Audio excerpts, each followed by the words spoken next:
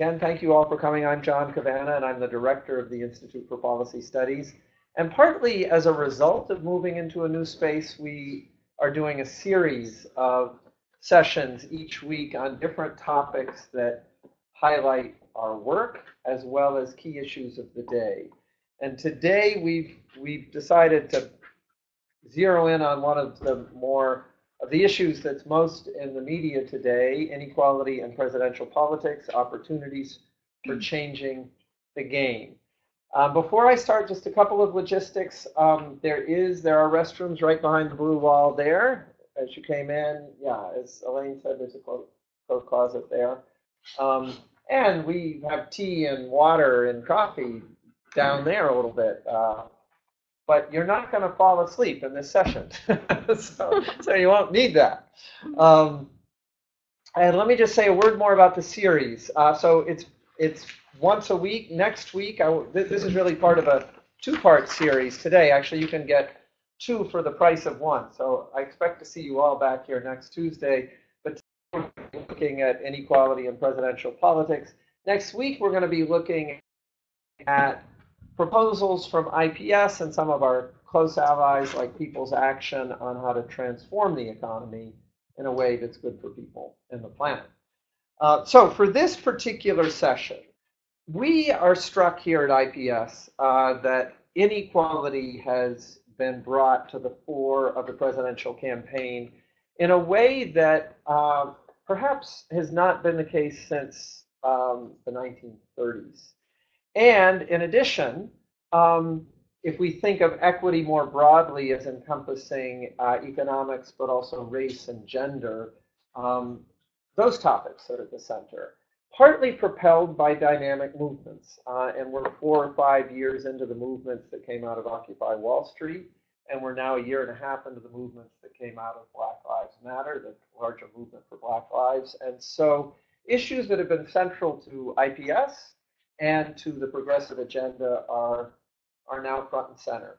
And today we want to talk about that, understand it. I think from us at IPS, just to, to be totally clear, we are we see ourselves as public scholars here. We, we both are trying to understand the world, uh, but change it.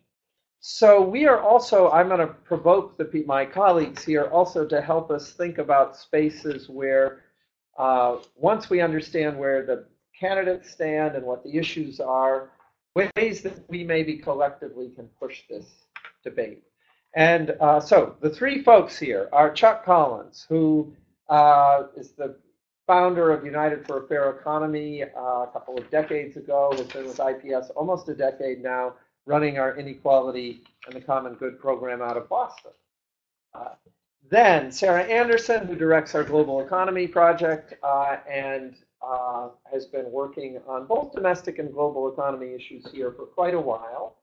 Uh, and you know, we will, there's a space here and a space there, and if any more people come in, we can also put some more chairs up here.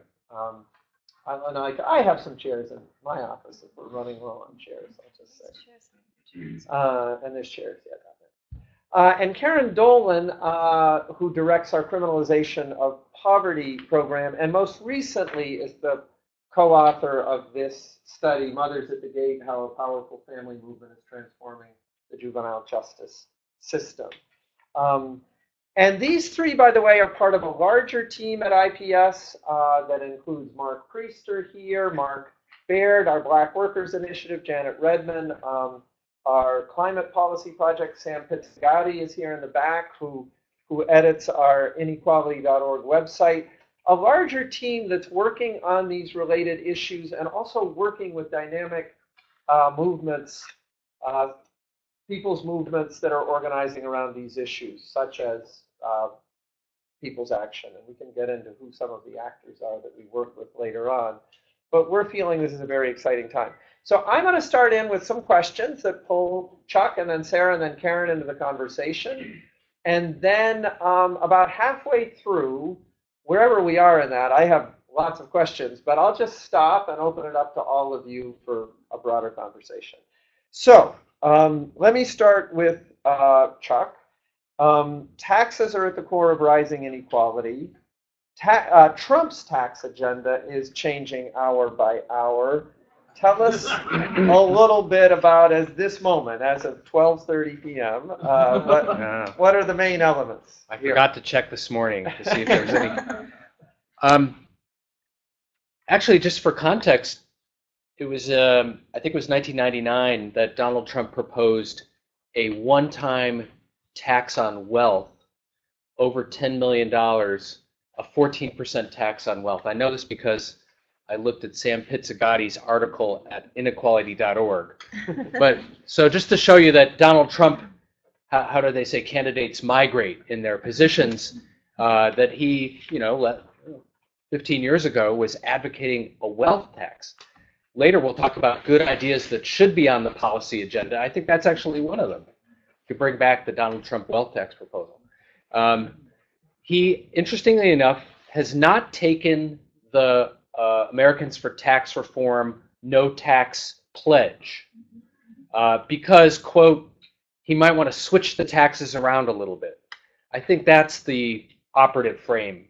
Uh, I mean, his his basic proposal is to reduce income taxes substantially. You know, the income tax uh, currently at the top rate, 39.6%, wants to bring it down to, to 25. He wants to take the statutory corporate income tax rate from 35 to 15, wants to eliminate the estate tax.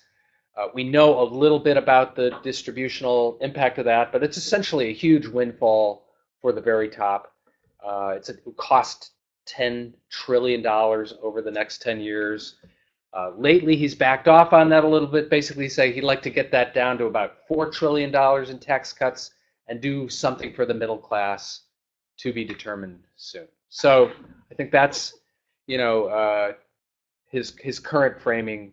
Um, Okay, and let me ask Sarah, is there anything positive in this Trump tax plan uh, that we should be excited about? First, I have to just say a little bit about something that I heard on the radio over the weekend. I don't know if people here listen to On the Media with Bob uh, Garfield, and you heard the rant that he did at, I think it was around seven in the morning on Saturday, and boy, did it ever wake me up. It was a rant about how the um, media have been covering Trump, uh, including uh, people. Um, just a second, I'm going to get the exact quote because it, it was really unlike anything I, I'd, I'd heard uh, before. He was going after Chuck Todd and a lot of the major media figures for, for giving um, Trump a pass. And what he said was, the man is a menace of historic proportions. So who the Chuck Todd cares about his tax proposals? It's like asking Charles Manson about his driving record. I was about to start preparing for this brown bag, and I thought, oh my gosh, is that what we're doing? The equivalent of, you know, asking Charles Manson about his driving record here?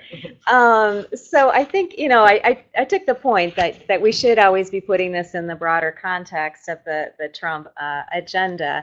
At the same time, I think that uh, taxes are a really big deal, and I think Karen's going to talk more about how if his tax, his latest tax plan were implemented, it really would be devastating for, especially for the poorest people in the country. But, you know, if I did have to point to anything that was slightly positive, I would say that um, I think for me, the, the most meaningful thing he's done is his um, statements about the carried interest loophole, which allows billionaire hedge fund managers to claim the bulk of their income as capital gains and get a 50% tax cut out of that. And so I've really enjoyed hearing Trump talk about how these hedge fund managers are making a killing and all they do is pat, you know, shuffle around paper anyway. They don't build stuff and all of that. If you look into the details, though, if he succeeds um, in the goal of lowering the top marginal tax rate, as Chuck said he wants to go from 39.6 to uh, 25. Well, capital gains is at 20 now, so if he eliminated the carried interest loophole, we wouldn't really be getting much out of it. Um, we'd, we'd come out, you know, worse in the end for sure. So I appreciate the rhetoric that he's been putting out there on that uh, hedge fund uh, loophole, but when you get into the details, it's probably not that meaningful. Okay, now we're going to shift to the Democrats, and as as you all may know, there's two Democrats left in the race. um, and uh, I just want to say, Karen and I were going through our records the other day. IPS in 1991 worked with one of the two remaining uh, Democrats to to form something called the Congressional Progressive Caucus. which now has 74 members, but it was founded by Bernie Sanders exactly 25 years ago. Uh, and then you got four others, and then it grew, and it grew pretty quickly. Uh, actually, it grew in part as a counter to Newt Gingrich's contract with America, uh, thinking back over that time. But we were thinking back of our history uh, here with with um, these various candidates. Chuck just gave you his history with Donald Trump, but that's a little bit of our history with uh, with Bernie Sanders going way back. But uh, yeah, Chuck, could you say a word on how Bernie's plan, tax plan, compares with Hillary's?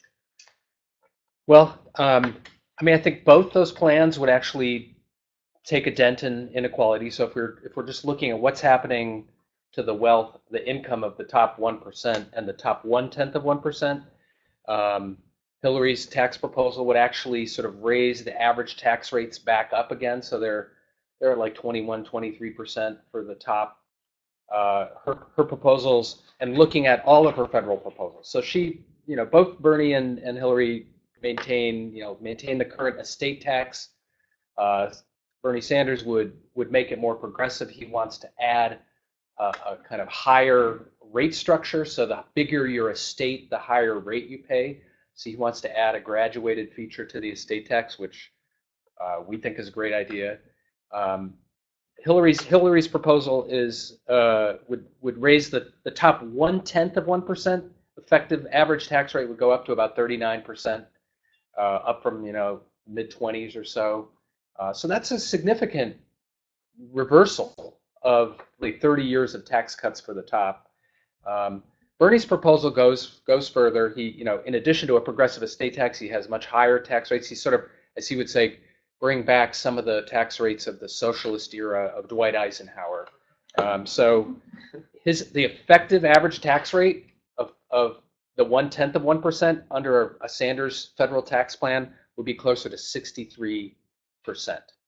So it it uh, puts a significant brake, and that we're talking millions of dollars of additional taxes paid per year. So I think that's that's one just quick sort of summary from an inequality perspective both both candidates would make a significant reversal in the, the current trends, and Bernie's proposals go significantly further in terms of taxing the top. And uh, Sarah, I'm curious, are there signs that the Sanders campaign, I mean, both rhetoric and proposals have influenced the Hillary campaign on on these issues? Yeah, I, I think absolutely. So just, I mean, I think he's influenced her in a lot of ways, but just focusing on the tax uh, issues. One thing that uh, Sanders has been hammering on in just about every speech is uh, his idea to tax Wall Street speculation. Um, it's one of the pillars of his campaign. He talks about it as a way to raise revenue for things like making higher education affordable. I think it's been a, a really popular part of his campaign. Uh, Hillary has not taken a position yet on that. Uh, it's noteworthy that she has not come out and been critical of it at all.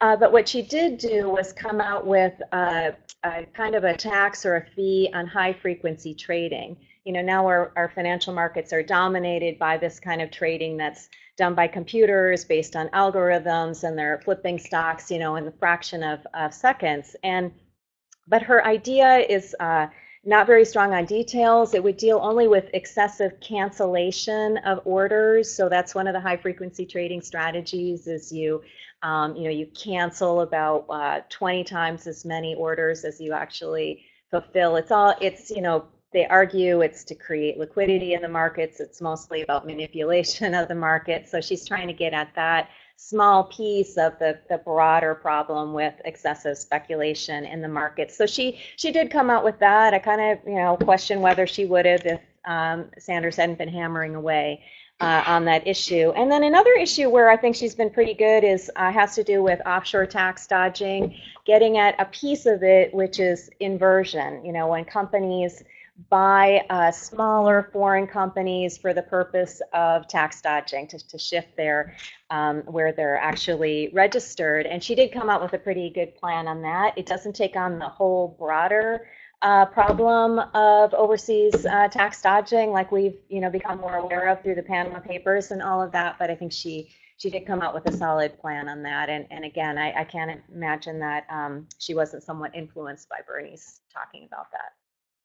Okay, now we're going to shift into um, the broader looking at equity and, and this broader lens of, of also um, race and gender equity. And um, and also there, it's interesting to watch more and more people talk about the interconnections between these issues, um, also with poverty and, and mass incarceration. So let's go back to Trump. And by the way, I don't, just probably happening to all of you who have friends overseas, all of us here are getting tons of requests from people overseas to help us understand Trump. Uh, so, and what a Trump presidency would mean. And, and I think we, like all of you now, are taking this possibility very seriously. So I want to turn to Karen and, and actually ask the question of what an anti-poverty agenda would look like under Trump and, and, and a broader criminal justice reform agenda to the extent that we know what it would Well, look like. first, what I was going to do was, eh, you know, go in, in, in that, that vein and then move into some of the racial stuff. And we, when we get into the racial and criminalization stuff, I also wanted to add that this, co-author on this report is also Ebony Slaughter Johnson, who's here in the audience, and she's part of our team. Thank you, Ebony.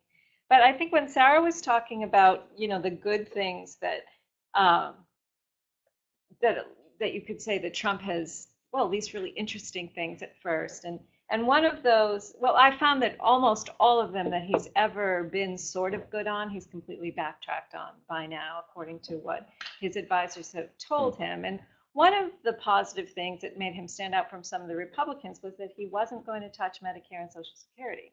So unlike the other Republicans, he he he, he was appealing to Tea Party and to his base, who really don't want Medicare and Social Security to be dismantled. Uh, however, given his tax proposal that was set to decrease uh, to cost nine, nine and a half trillion, uh, and I don't know how he's proposing to get it down to four trillion. He, I haven't seen the specifics on that, but certainly if he if he made those kind of cuts, he couldn't do that and save Social Security, Medicare, and balance the budget by 2026. And if he tried to do that, um, he would have to cut every single government program by at least two fifths. And if he if he tried to preserve if he tried to preserve Social Security and Medicare and balance the budget, he would have to eliminate every single government program. Every single safety net program would be gone. There would be absolutely no funding for it. So it's completely illogical. And so his safety net program would be nothing. There would be no safety net program. And and other than his lip service about preserving Social Security and Medicare, he has just been as flamboyant as anything else on social safety net programs. He thinks that uh, teen mothers should not be allowed to access welfare. They should be put into group homes and taken care of by religious uh, institutions. He thinks lack of work makes people dependent on welfare. Uh, he isn't for that. He's for faith-based solutions uh, to some of these issues. He used to be for the legalization of drugs was a, a kind of a, a progressive and uh, forward-thinking answer. He, you know, he's backtracked on that now. So now that now that he isn't, so uh, he, so his safety net program is almost non-existent. And then the other piece that that I would, and, and Hillary and Hillary and Bernie are virtually the same. Um, on most of the social safety net programs, except that Bernie would have a single payer health care. Medicare for all, which be, which would be a significant uh, increase in in uh, anti, as an anti-poverty measure, and you know would have really long long-reaching effects. So uh, and he's he's better on legalizing drugs, and that would bring us to the issue of criminal justice reform. And I think that you know this is to me it's really important when we talk about inequality. I have a little handout. Um, let me make sure I get one. You might have to have to uh, share it, but even when we talk about the social safety net program and the tax reform pieces, if we don't really talk about mass incarceration, um, over criminalization of black populations, Latino populations, what having these criminal records do to the rest of the country, we're not going to be able to address inequality or poverty or racial justice. So we have about 70 to 100 million people in the US with criminal records. And if you have a criminal record, you have significant obstacles to getting a job. So even if the even if the minimum wage was raised to $15 an hour, that doesn't necessarily help you if you can't get a job. And sometimes this is lifelong that it has, you know, uh, either at last, lack of access to a job or lifelong reduction in uh, in income. And of course, mass incarceration is disproportionately affects black populations and Latino populations. So until we can fix that, we're still talking about impoverishing 60% of Black and Latino populations. And it's not just the person that's incarcerated. So the family bears the brunt of costs. And it turns out that a family member with an incarcerated person, uh, with an incarcerated loved one, can have up to, I think it's like a six, at least 50% or a little over 50% of them can't afford basic needs. So it's really very drastic and very severe. And when you look at, and, and, and it lists out a few more um, of these statistics on the piece of paper that, that I uh, handed out to you, and 83% of these huge costs that are put on families are borne primarily, are borne by women, and primarily Black and Latino women. So it's a real problem, and especially as the country is becoming more Black, more brown, more immigrant, uh, we are impoverishing a whole generation. Uh, so in addition to having to do the kinds of smart proposals that Bernie and, and when pushed Hillary have, uh, we also have to really look at ma- mass incarceration, which both Bernie and Hillary do have are, are, are, quite smart on that. They're both relatively new to, to these positions. Hillary has done sort of a complete flip flop from her tough on crime days and calling black youth super predators Bernie has been more consistent, yet, but it hasn't been a real focal point of his really until the um, until the election. So they both have really good instincts on it. Bernie would decriminalize uh, marijuana, which would do a great deal to cut down on on the prison population. And Trump, you know, Trump has said lethal injection is too comfortable. So you can tell a lot. And he said that the most misunderstood and the most maltreated people in the United States are police officers. So if you look at those two statements, you get an idea of what would happen um, under a Trump presidency to one of the most pressing problems that's really a driver of racial uh, and economic inequality in the U.S. I'm curious. You've gotten a bit. Uh, you've gotten into all three candidates on these things, but I'm just back to anti-poverty programs for a moment with the Democrats, um, uh, Bernie and Hillary. I'm curious you know, you've said a little bit about how they differ. I know the other thing that's that's been big in the debates is is Bernie being for fifteen dollar, uh, you know, for all people, uh, raising the minimum wage to fifteen for all, and mm-hmm. Hillary having a quote more nuanced position on that. But um, on the anti-poverty part of of Hillary versus Bernie, uh, you know, any other differences? Well, I think Medicare, as I said, I think the Medicare for all, I think the health care is the biggest difference. Uh, and and I, Hillary, as far as I know, hasn't come out to, to raise the cap on Social Security. So I think that Social Security and Medicare are probably the biggest social safety net differences, and they are those are significant in terms of how they would help poor and low income people. Great. Okay, so I just one final little round here. I want to get a bit into um, how to you know, that's a little bit the state of the debate in presidential politics. And of course, there's there's uh, Senate races, House races, all the way down to school board races going on all over the country. And if you all want to get into that in the conversation, we, we'd love to do that. But now, getting a little bit into the role we can all play in this, I'm curious, going back to you, Chuck. Um, what you'd like to see the candidates take up on taxes that they aren't. And I, I will just note in the back of the room there is um, there's Karen's two reports that Karen has taken the lead on, uh, Karen and Ebony, but this one, Mothers at the Gate. And there is also, by the way, there's also, I'm going to send this around, there's a sign up sheet for, if you're into these issues and want to get deeper in, um, as I mentioned, well, you should sign up for the IPS website uh, and get our weekly uh, updates. But also, we have the website on inequality, inequality.org. Um, and I just want to pass around the sign up sheet for that. Uh, and back there also is a is a piece, a special issue that uh, folks here took the lead on um, in the nation called Game Changers, how, how we can unrig the rules and reverse runaway inequality. So let me turn it back to you, Chuck. I think the question is, uh, what, so, I mean, I think that in terms of revenue proposals, I think the San, Bernie Sanders has sort of staked out, he, you know, he's made this financial transaction tax, uh, progressive uh, estate tax. Uh, I would, I guess, I would like to see the Trump wealth tax on the agenda. I think actually having a discussion about net worth taxes, not just at the, uh, you know, the end of life and estate tax, but an annual net worth tax. We're, I think we're ready. I mean, there's, we have to do something to slow the concentration of wealth and power at the top. And uh, we can raise the floor, but at a certain point, you have to address that incredible concentration.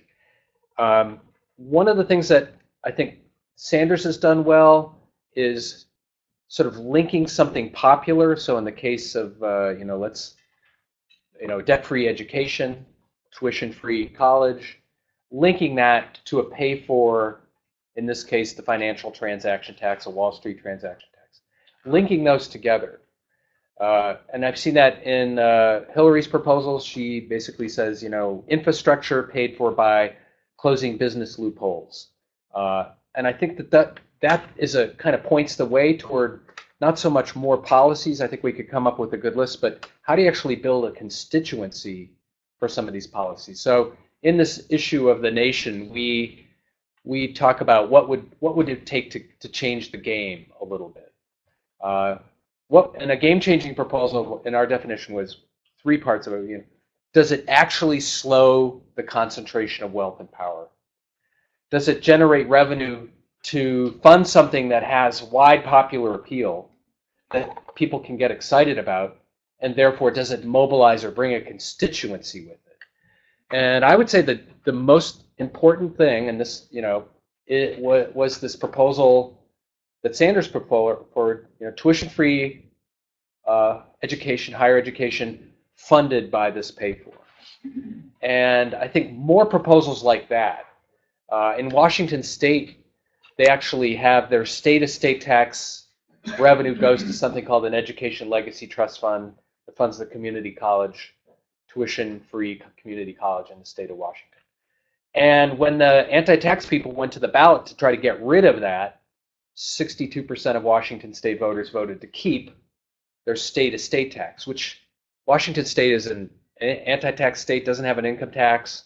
Most of those anti-tax initiatives win. So the fact that it was linked to something popular. So I think that in a way that's a little bit of a, a clue, you know, so institute a carbon tax, tax um, luxury consumption, and link that revenue toward green infrastructure, something that then brings a constituency with it to fight for it and defend it. So those are a couple of things I think that, in addition to having more, you know, a wealth tax, just sort of thinking from a campaign constituency point of view. How do you li- liven up? Because one of the problems I think is people are, you know, we're talking about these very lowered expectations. Uh, and not what's something big and bold that could be done, like after World War II. You know, let's you know debt-free education and build uh, infrastructure at a very high level. Now, so I think I think we need to sort of animate younger and, and new constituencies. So I think that's one. I would just add, I think another way to make tax reforms more popular, and in addition to linking them to key constituencies and what you use the revenue for, is to link them to uh, CEO pay. So the polling shows that if you can say that um, by making this tax reform, you'll also rein in CEO pay, it, the, the popularity goes way up. People across the political spectrum are outraged about uh, CEO pay. Um, I was just reading a quote from Trump last fall that I, I, totally missed because I wasn't taking him seriously at the time, I guess. But he went on and on about how he thought it was just disgusting and obscene how, how high the CEO pay levels have gotten. So all three of the remaining political candidates are already there in terms of their rhetoric about obscene uh, CEO pay, but they should come together around a, the principle that ordinary taxpayers should not be subsidizing executive pay. It's one thing we also lift up in the Nation article. There are a number of ways, in addition to carried interest, there are other ways that there are tax loopholes that encourage excessive executive pay. Uh, the rest of us get stuck with the bill when CEOs and, and their employers don't pay their fair taxes. And I think that would be a, a really winning um, message that could cut across um, the partisan lines.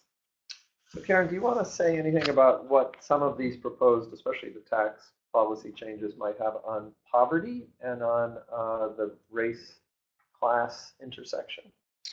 Yeah, well, I think I did in terms of what Trump's proposals would have, which is a devastating effect. But um, in terms of activism, if you, you know, in addition to the the great efforts to to have these tax reforms, um, and which also opens up more revenue, because that's what we need is revenue, is looking at um, some of again the effects of incarceration, mass incarceration, and, and some of the costs that are associated with it. So we, it's eighty billion dollars a year to sustain the highest uh, number of people incarcerated in one country in the world. We incarcerate more people than any other country, eighty billion dollars a year, and we have an estimated loss to the GDP, loss to our economy from from of sixty-five billion for people not working.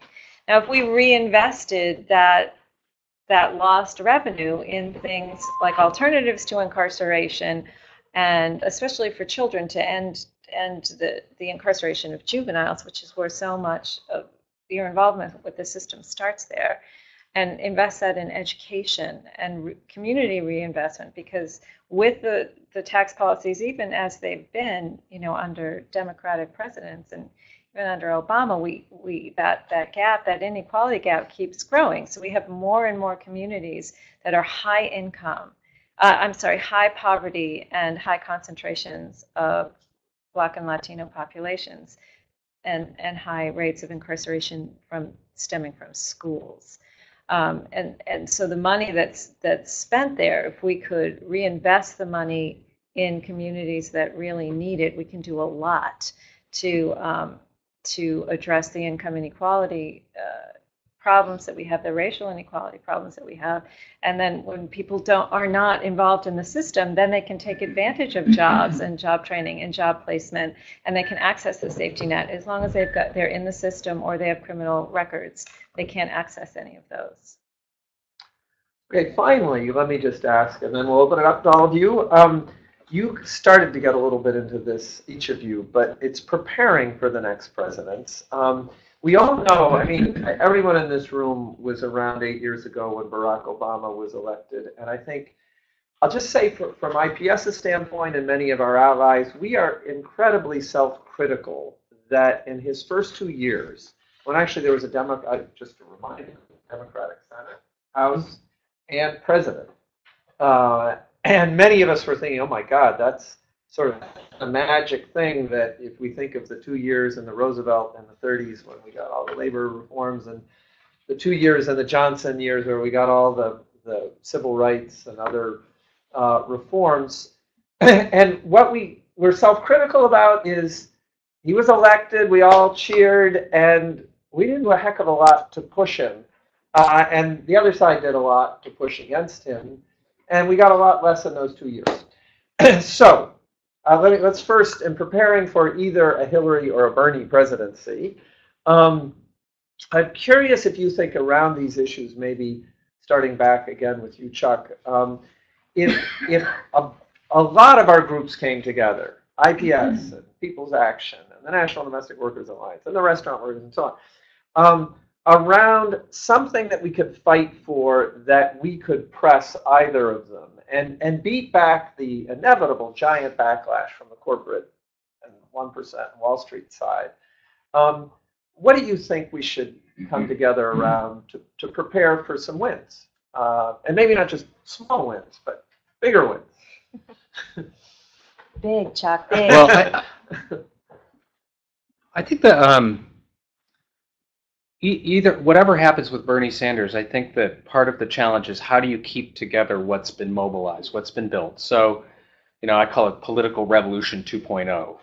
Uh, and what I think I like about what Sanders talks about is his theory of change, which is, look, I'm just going to be running for president. What we actually need is this movement. So, you know, at the Philadelphia town hall meeting, he was asked, you know, about the sort of inside-outside question. What what's the role of outside movements with a president if you're a president? And he said, he said, it's absolutely key. Let me tell you one thing. He says, one thing I know for certain, 100%. If, if all the students who have 50, $70,000 in debt, if they stood up and organized and demanded, you know, it would happen. It would change the face of America. And I, he, I think he's absolutely right. That's his theory changes. You, you know, uh, given the current capture of Congress and the current political constellation, you have to animate and engage a whole new group of people in addition to the people who are already engaged. So I think, uh, you know, keeping the band together. You know, I think what you said, John, after Obama was elected, the Democratic National Committee and the Obama campaign almost effectively demobilized. All those people said, "Go home. We don't need you. We're we got it. We're we're gonna take care of it." And that was the moment, if you read Dark Money by Jane Mayer, that you realize that the, they sat down and said, "How do we spend, you know, nine hundred, you know, million dollars to destroy this agenda?" So at the moment that the Democratic and the progressives are demobilizing institutionally, the opposition is remobilizing. So the the takeaway, no matter what, is how do you maintain that a permanent political formation? The Sanders campaign owes nothing to the Democratic National Committee. There's no, they, they don't have to do a, like a Dean for America or, you know, they could actually say, we're going to keep this aggregator of small donations and people power together. And then the question is you pick a couple of things that are going to engage people. So clearly student debt. You've got 40 million households that hold student debt. The, the average student debt for graduates, you know, here we are in May, this year's graduating class, 37 thousand dollars is the average student debt for the graduates this year. That's a constituency. It's a huge constituency. Uh, so we need Sanders to be barnstorming campuses and animating and engaging that that constituency, whether he's the nominee or not. Same thing, uh, Citizens United or something that's related to campaign finance reform, and probably uh, something related to climate change. Those three issues, but we can talk about this. If we focus those and say, let's engage and animate some constituencies, that, that could have a huge impact on the, on the, that could help with the realignment. We know that the base of voters is much more progressive than Congress. So there needs to be some realignment. And the question is, how does that realignment happen? So I think that sort of getting into the mental mode of like we're in, we need to sort of maintain a permanent campaign mode, if we will, uh, to to help push this agenda, any kind of agenda forward. Excuse me, somebody's cell phone keeps going off. Really? Please silence your cell phones. Thank you. Well, I'm yes, not. Sarah, on, yeah. and also on Wall Street. I'm Yeah, curious, yeah, I- what well- can we win? First of all, I'm not going to try to imitate Hillary Clinton. Um, Chuck can do Sanders better than her, but I'm really curious to know what she's going to say about trade, um, especially once Trump starts um, beating her over the head about that in the debates. Um, I do think that there's the potential there for building a very diverse movement for a really different approach to, to trade policy, and we should try to build on that. Um, on uh, she and she did say recently that she does not want a lame duck vote on the Trans-Pacific Partnership, so she's already changing her um, um, her statements a bit on trade. So we'll see where that goes. We're seeing an, an evolution there. Um, on Wall Street, uh, you know, the, the question of the day on every issue is how do we keep the momentum going from um, the election process? Um, it's been really amazing to see the mobilizations that, that we've been seeing a- around uh, key issues on the progressive agenda. Um, and everyone's trying to figure out how to keep that going. One effort along those lines is a new campaign that will launch next week, uh, May 24th, called uh, Take on Wall Street. Um, it will unite um, all the major labor unions, uh, consumer, anti poverty, economic justice, and other organizations, and more tightly coordinate work that's been going on for some time here in DC around policy issues with more of a grassroots um, organizing uh, strategy to it and, and more media attention. It has five priorities. One is the financial transaction tax, or as Bernie calls it, the Wall Street speculation tax. Um, two others deal with CEO pay tax issues, carried interest, and there's another CEO pay uh, loophole. One is breaking up the banks, and one is um, alternatives to the big banks through uh, postal banking and and uh, reining in the payday lenders, that kind of thing. So this is, you know, just one of I think what we'll see uh, of s- numerous efforts to try to take people who have gotten mobilized around the campaigns. We can see now that people are still angry about the financial crisis, still want to take on Wall Street, and giving them opportunities for acting on that. And finally, Karen, you got the more fun one here. Th- those are easy to prepare for. Preparing for a Trump presidency here. Um, you know, you've put, painted a little bit of a sense of what it, a Trump presidency might mean for poverty and racial justice. But um, thoughts on how we prepare for that? Well, can I answer the question of what we need to do to keep that sure. momentum going? I mean, I would add to that that we also have to, um, in addition to that, we have to talk about reenfranchisement. We have to talk about voter ID laws. We have to talk about black and brown people getting the vote back because until we can reenfranchise people, or then we're not we're going to be in this in this same position over and over again. So I think that there's a lot of momentum around voting rights, um, getting rid of the voter ID laws, and actually being more radical and looking at restoring voting rights to people who are in prison. Uh, people who are in prison should have the right to vote. They're serving their time in prison and they should be able to vote. And, and Massachusetts and Maine, they can. And we talk about student debt, but also legal debt. So legal debt is just drawing folks under, especially African Americans and Latinos uh, and their whole families and communities end up in this really egregious debt. And as we have a society that's becoming less middle class, less white, we have more and more people that are struggling with legal debt instead of college debt because they're not even able to get into college. So these are some of the more foundational things that I think that we have to add on to some of the other um, great uh, efforts that people are doing. But that has to be part of any political uh, revolution and also immigration reform. So we've got kids, you know, languishing on cement floors in detention centers in the United States. Thousands, tens and thousands of children sleeping on concrete slabs.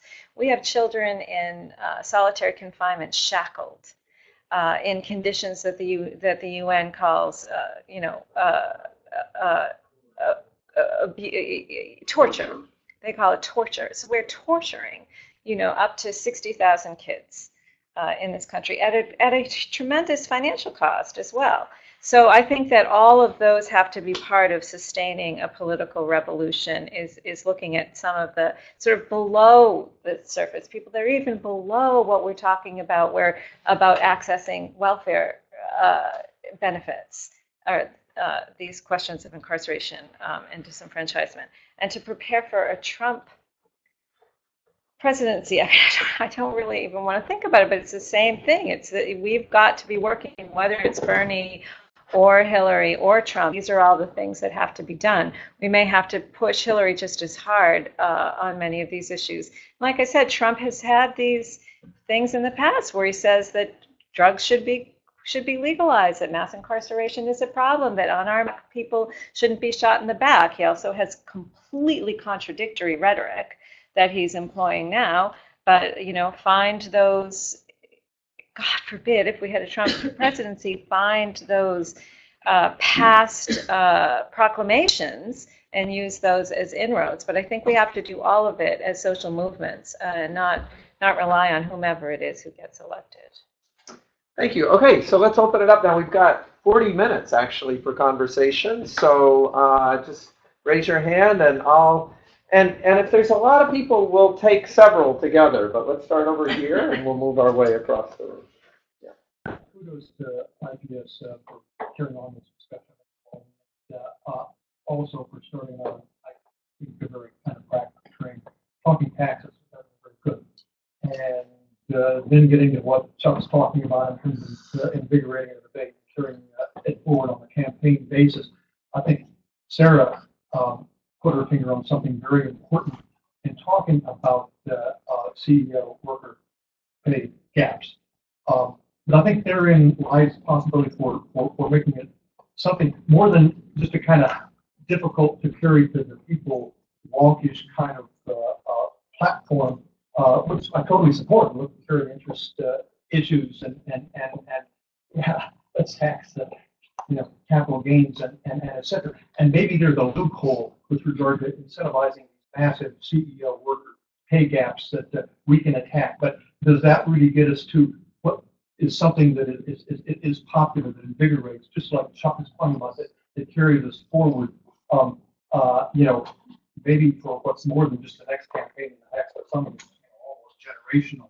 Uh, yeah, tax reform, but focusing on that CEO pay uh, gap with workers, uh, obscene level, we actually restructure our, our, our, our focus on corporate tax. The whole thing on individual tax is great, but, but business and corporate taxes to actually make uh, a, a series of reforms that would make it punitive simply because of, of, of, of you know, that, that, that gap, that you would pay a whole different tax rate when your, when your, your CEO worker rate is hundred to one for the worker on the floor. Um, uh, this is simple. It's something people can get around. It looks to equality. I mean, hey, it takes us right back to, to, to, to you know, uh, Occupy Wall Street. Uh, we wanted to occupy Wall Street.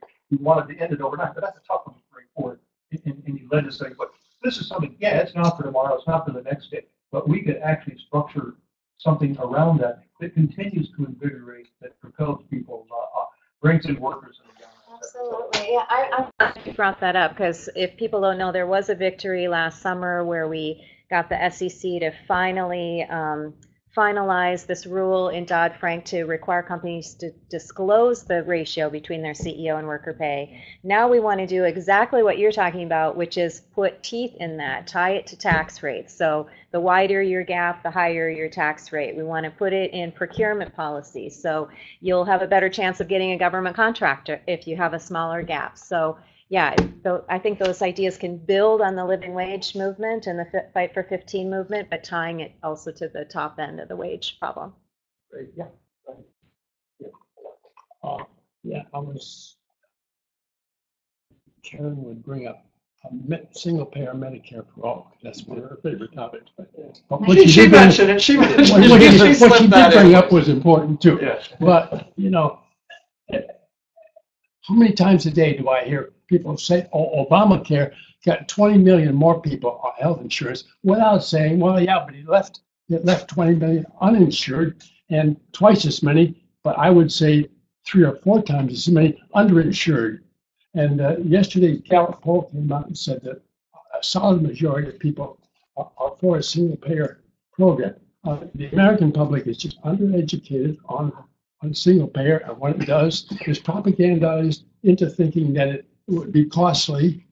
Uh, you know, uh, NP, uh, um, PNHP's uh, policy guy, Don McCanne, puts out a daily thing called Quote of the Day, and and, and that can, you know, to to publicize the things that he says, which educate people on the facts about the healthcare system and, and how single payer can solve so many things, including the poverty issue. That, that's, that's, that's an issue that I'd like to see uh, push more. Why don't we do a couple more and then we'll turn back here for, yeah, over here in the front and. Um, we don't have enough firepower to do very much of this stuff. I think we have to recognize, first of all, that we have a polarized political system based on geography. And that it is not likely, even if we take the Senate back, we will have enough power to, to do anything in the House. That's the first thing. The second thing is, a lot of these things are symbolic. Yes, raise the rate on, on, uh. Okay, what does that do? It makes people feel a little bit better, but it doesn't solve the inequality problem. I mean, there's so many things that have been done over the last thirty or forty years under the table. Things just like taking the lid off usury, fees, things like restructuring the bankruptcy laws. All of those things are under the table that you, will need years and years. The thing I think that we have to recognize is that a lot of the harms that we have from inequality are local. For example, you could live in a you could live in a place like San Francisco, New York City, where things are, are highly unequal. Gini coefficients are huge, but they have the social services there to ameliorate some of that. Um, it seems to me that, that what we need to do is we need to find ways to, to give people uh, more of a, a democratic identity. Get them to show up, not just to vote for Bernie or vote for Hillary. I mean, that, that's important because we'll get a Supreme Court justice out there. But we need them to show up in midterms. I mean, and until you can do that, you're not going anywhere. Yeah, we'll take one more and then get responses from, Okay, from all uh, of you. Yeah, Go ahead. Yeah, I wanted to follow up on what you were saying. Uh, Karen, I'm glad you did bring up single payer. Um, I want to tell you what happened this past Saturday in Virginia at the 11th Congressional District Convention. There was a Medicare for All resolution. We were outnumbered, I was a Bernie delegate, outnumbered two to one by the Hillary delegates. There was an attempt to take out the Medicare for All. There was a discussion, the, the Hillary person said that this costs more than Bernie's proposal, and the Bernie delegate said, no, it actually winds up costing less. It passed overwhelmingly. Uh, and Hillary has recently come out uh, and said that she's for, uh, kind of vague in my mind, but something like uh, Medicare option down to age 50 or 55. And even Donald Trump has said he wants to eliminate Obamacare, but he has said everybody should have health care. So, what do you guys think of whether or not there could actually be momentum? Now that Bernie has gotten the genie out of the bottle and single payer is actually being discussed widely in this country, Uh, as versus the way it was suppressed in the 2010 debate, you know, is it possible that the public mood can be translated into political reality? Great, great question. So, yeah, why don't you each, Karen, why don't you go? Uh, yeah, I don't think so. I don't think the public, the public mood can be translated into political reality. The, the pharmaceutical company is too big, but Hillary is hand in glove with the pharmaceutical company, so she's only going to go so far with her, uh, her leanings toward expanding Medicare very far. Um, and Donald Trump can't. He can say that all he wants, but he can't. When push comes to shove, is he going to not uh, give tax breaks to his friends or not be pushed, uh, you know, with the wealthy and powerful people and care about poor people that he thinks should be taken care of by churches? No. I mean, he's he's he doesn't actually care about the other people. He's not going to pass Medicare for all. I mean, in my opinion, um, and I and I agree with with you on um, on voting, and, and I think it's not only I think it's very local. So I do think it's you know state-based of closing down prisons, getting rid of private prisons, having that come from the federal government. It's got to be at the federal level, and that helps at the state and local level. You have to get profit out of prisons, and you have to re-enfranchise people, and you have to give people the vote. Um, Yes, and I, I mean that, I'm talking in addition to all the, the proposals that were, that put on the table that are, are the sort of bread and butter of the Democratic Party, but um, some of these other issues are really going to affect things at the ballot box. Yeah. in response to the skunk at the picnic. Um, yeah, we can't be too rosy about what we can achieve in here in Washington. And so one thing that we do do a lot of is trying to figure out how to um, promote some of these ideas as models at the state and local level. Um, so one interesting development is around carried interest. They're trying to push that in New York State, um, Chuck State of Massachusetts, Connecticut. There are a couple of others. I think that's really interesting to say Congress, you're not going to take care of this. We're going to do it um, at the state level.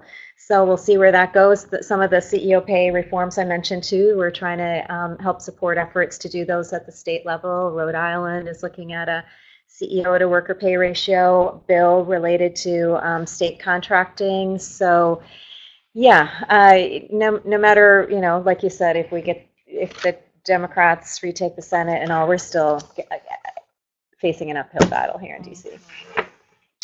Only thing I would add, I, I agree. We sort of have two sort of election cycles. There's the presidential elections with this huge turnout, and then there are these midterm elections. And I think that the, the test of our the success of the political revolution 2.0 will be that midterm election. I think that's a really good barometer of whether. Because here's what we know: we know that these inequalities cut very deeply. We know that the base of the electorate want to raise the minimum wage, want to uh, tax the wealthy, tax millionaires at much higher levels. These things pull. No, there, there's sort of a deepening understanding of how these inequalities matter. You know, we as a society have a very high tolerance for inequality, as long as people believe that the rules are fair and there's social mobility. Now that there's declining social mobility and it's clear that the rules are rigged, people are much more attuned to these inequality issues. I mean, Bernie Sanders, when I, I worked with him first when he was the mayor of Burlington on housing issues, and I was listening to like one of his speeches from 1984, it sounds exactly the same. He's hmm. saying the same thing. He's talking, he's talking about the 1% and wealth, and, and now people are animated by it. And I think what's changed is after the economic meltdown, there has been a realignment. It's it hasn't it isn't reflected in our national politics yet. So I think that's where you know engaging younger voters. I think that you know I have I have you know three college age kids. They are just completely all in for Bernie. Mm-hmm. They're you know one of them's like registering voters and turned out 60 voters in Indiana.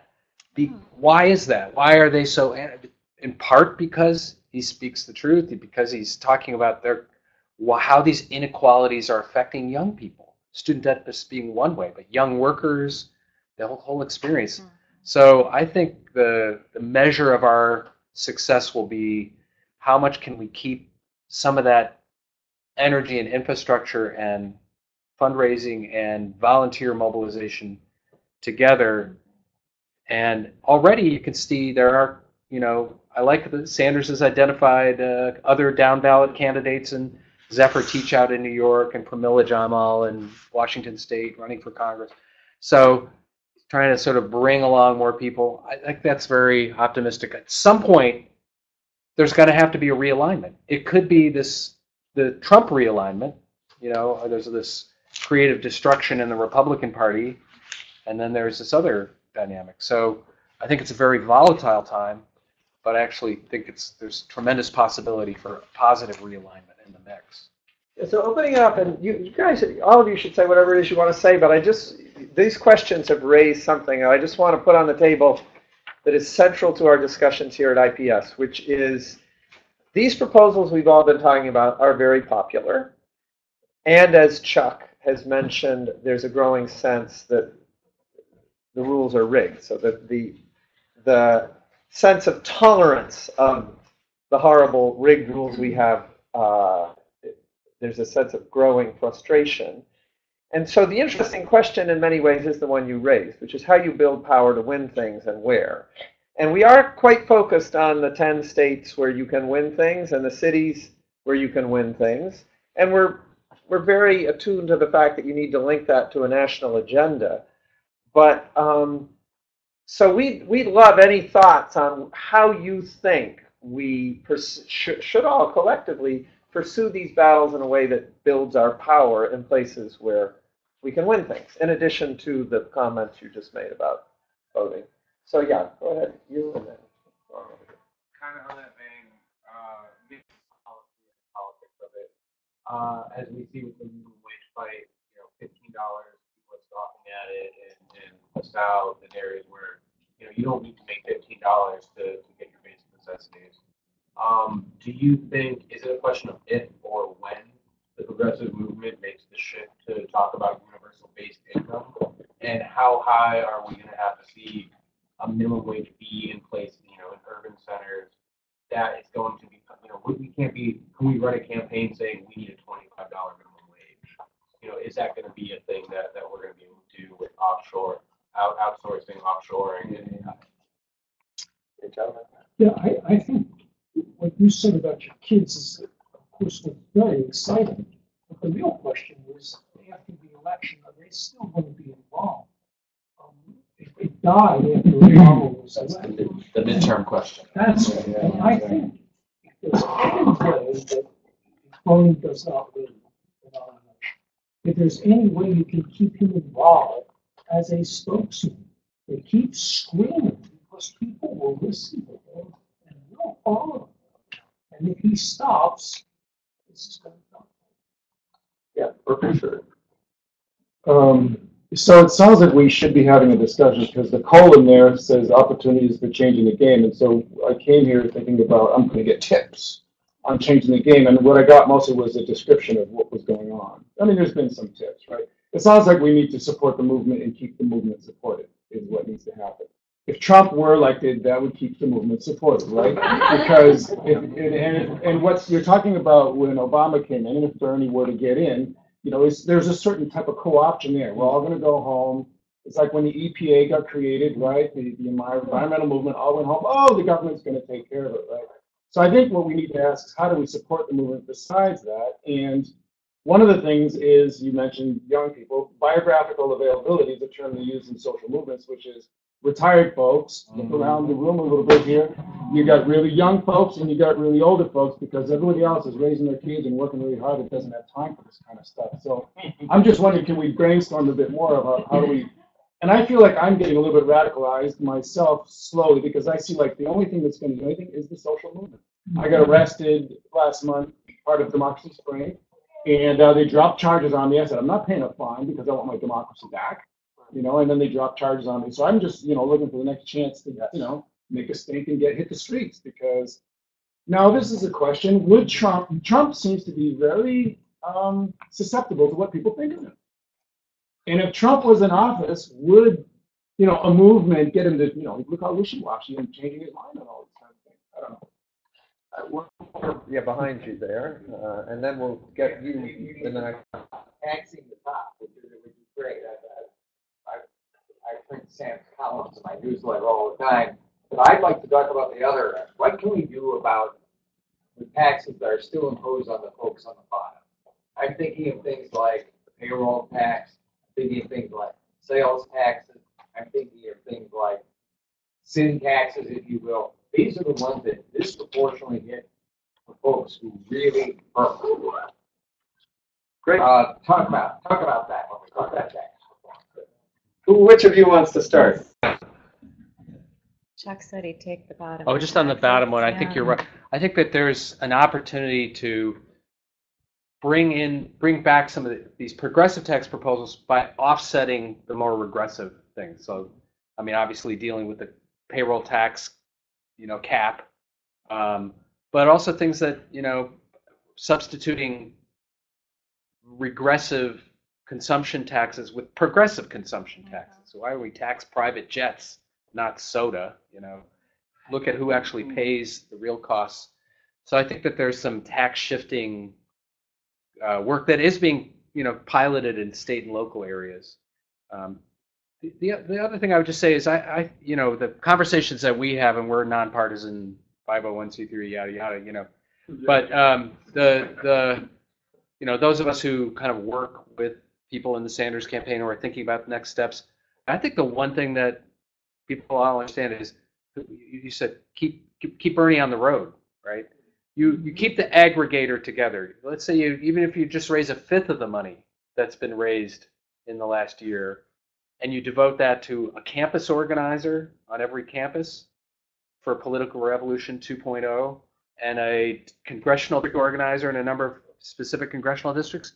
And they're Barnes, you know, they're basic, and Bernie's basically on the road, and and these and he's bringing in more people, the Zephyr Teachouts and the Pramila, you know, he's bringing in other people along, and he's sort of transitioning that mobilization force, if you will, that's to me one of the most strategic things that could happen. I think in keeping keeping students engaged for the midterms, looking at state redistricting fights, sort of taking it to all those different levels. So I think that's that's a there's a higher likelihood of that happening than after any other election than in my lifetime of some formation staying together. I think to do that.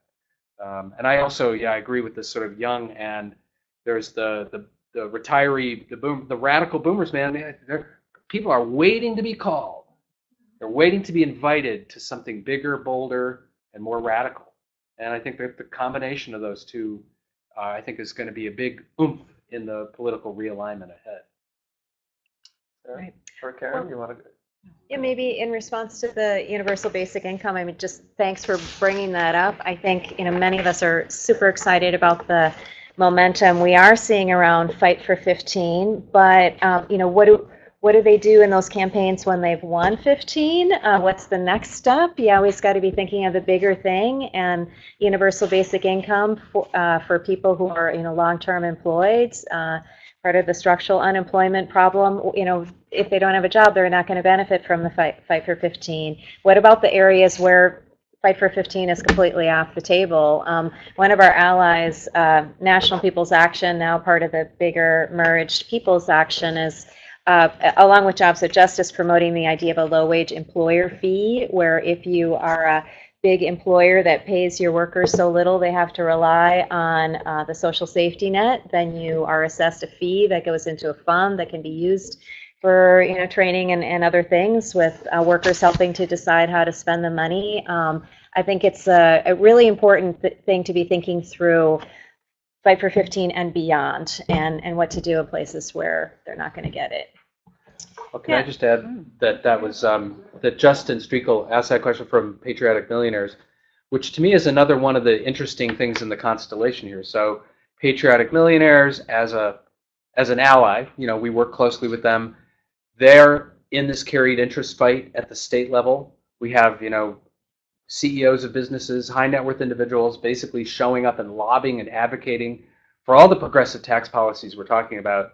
Fight for 15 reducing the influence of politics. So organizing the small businesses, there's sort of an alignment there, and this Patriotic Millionaires group is, I think, has huge communications impact in this in these debates that we're part of.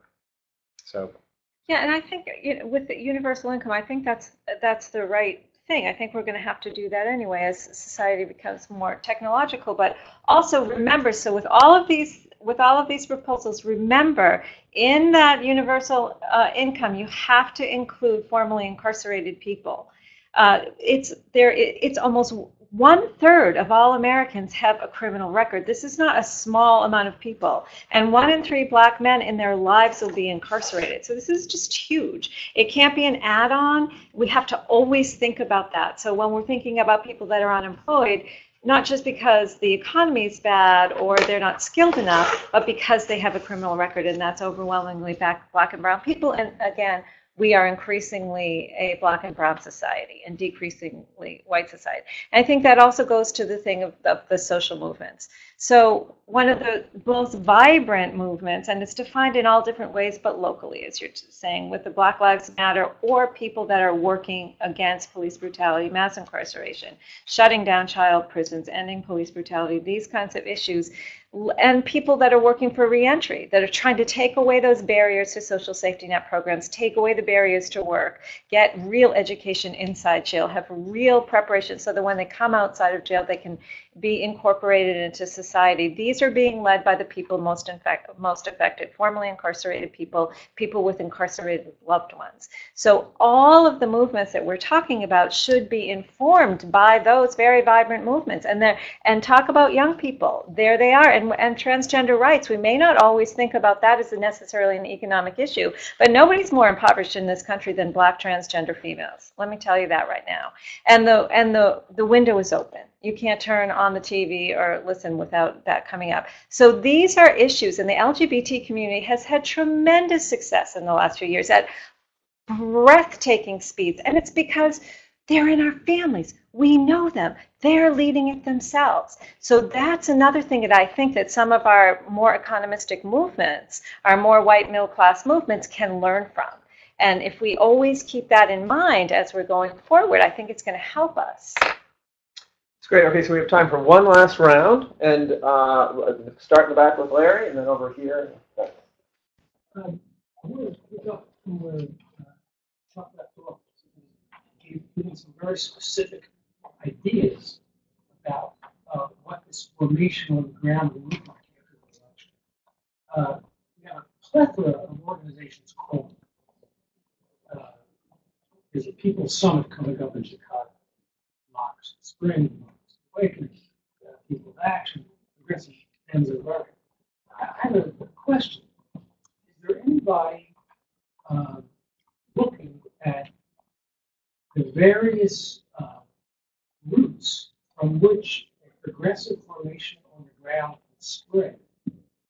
Is really studying that from an organizational point of view, not point of view, and working to figure out how to bring these people together to least some extent, so that formation on the ground can exist. Is there work being done on that? Good. Yes, over here. Right. Yeah, well, um, you know, this is all good discussion and, um, question of, uh, political revolution. was- You know, that was raised. I mean, yes, we all hope that Bernie has ignited a political revolution. But we're not gonna know for some years whether or not this is the beginning of a political revolution. Because the, the challenge before us is so enormous it is going to take much more than one election cycle, two election cycles, to build the kind of movement that Sanders is talking about. You know, we can, we can have all these movements and all these demands.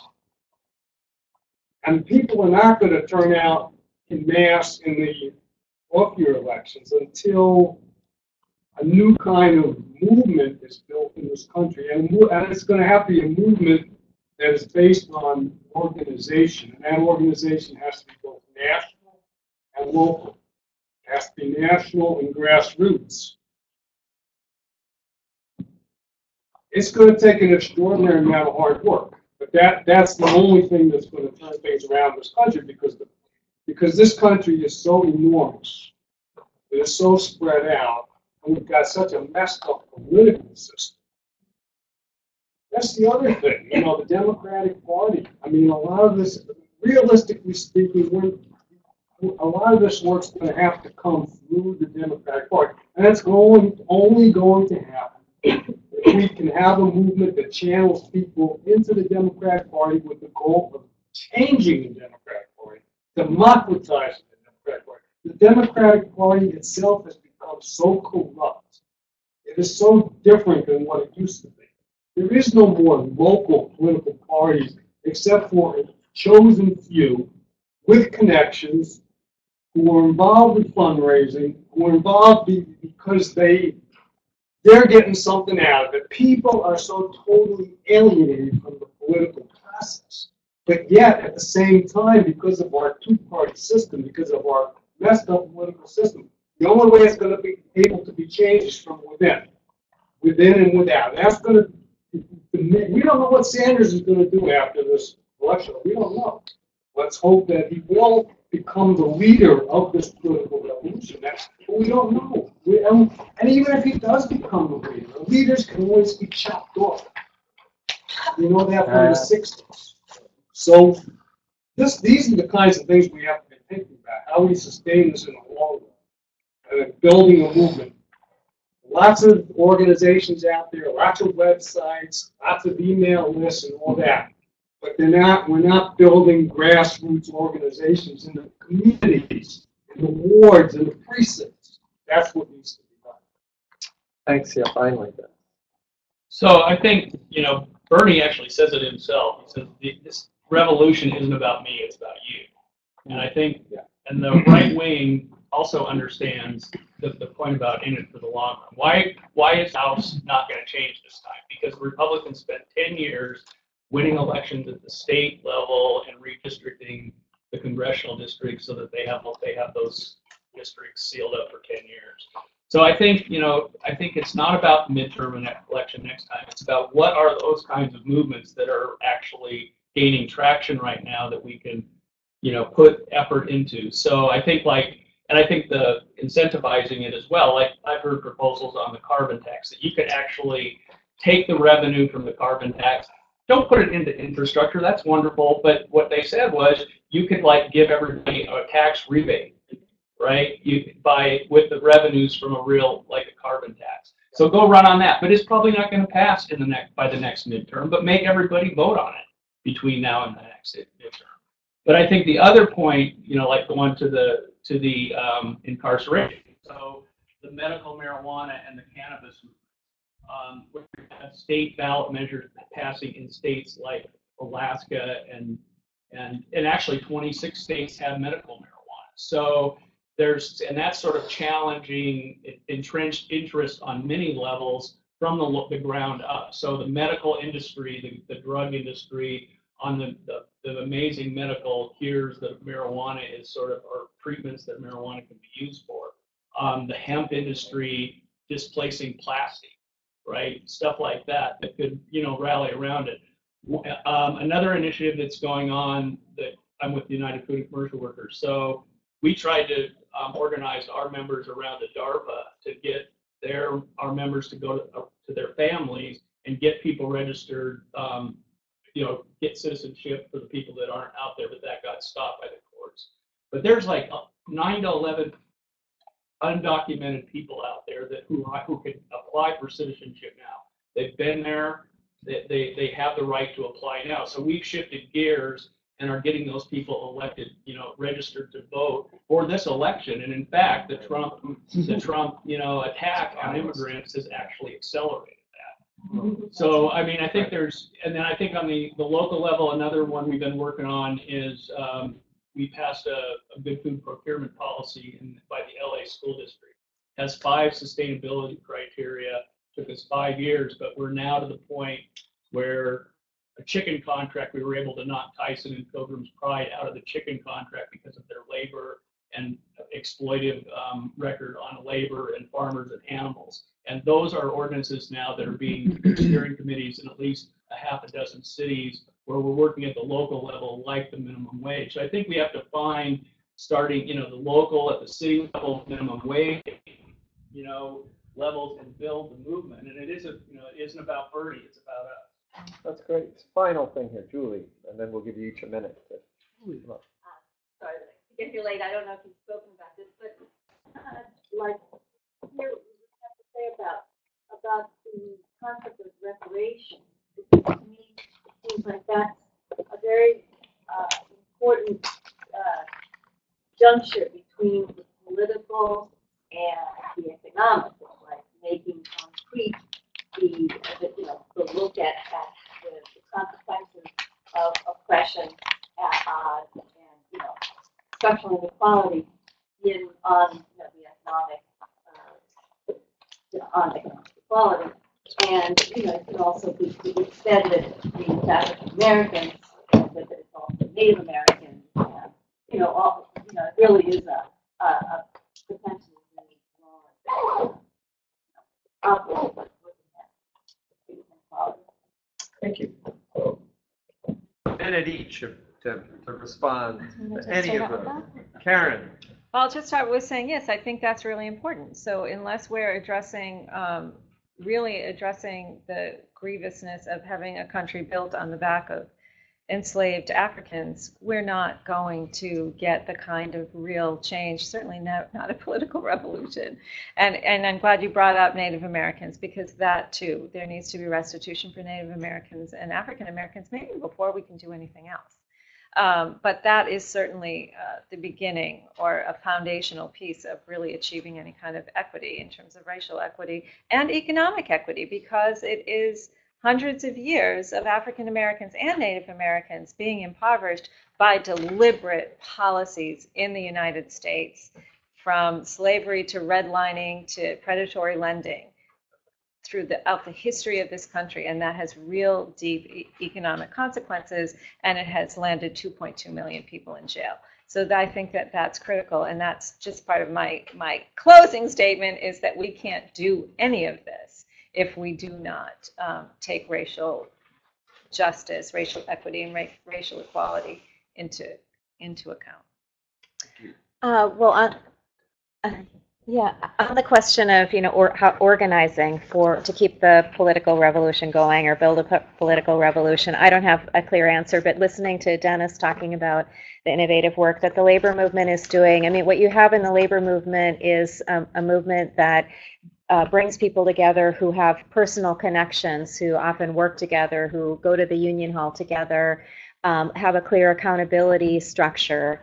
Um, unions are in decline, and I I feel the, the impact of that all the time. And so I, I just want to throw out there one of my fantasies for what to do with the however million people uh, contributed to Bernie or went to his uh, his rallies is how do we help steer that into some kind of a structure where people continue to have face-to-face interaction that builds the kind of relationships that I think really keep a movement together. I think the you know the websites and the online fundraising and all of that is great, but I think we need those kind of ties if we're really going to hang together.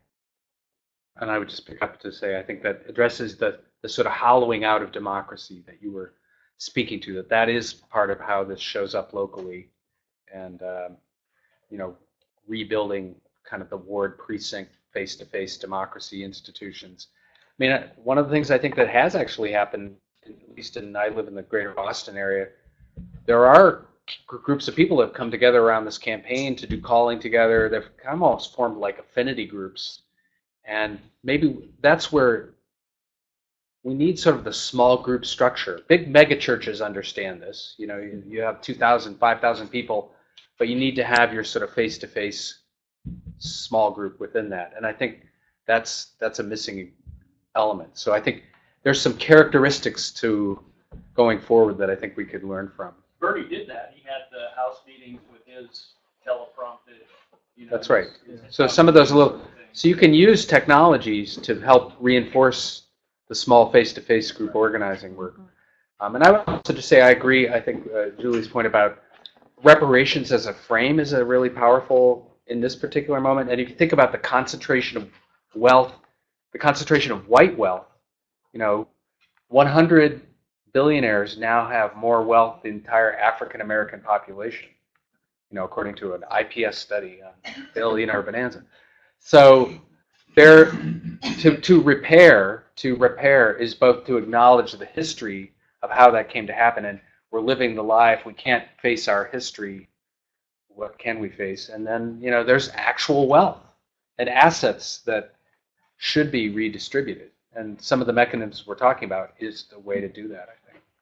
Let me just say one final word here on the institutionally uh, about this, because I think, um, first of all, these are great comments, and I thank uh, deeply my colleagues here who I've had the pleasure to work with collectively for about 80 years here.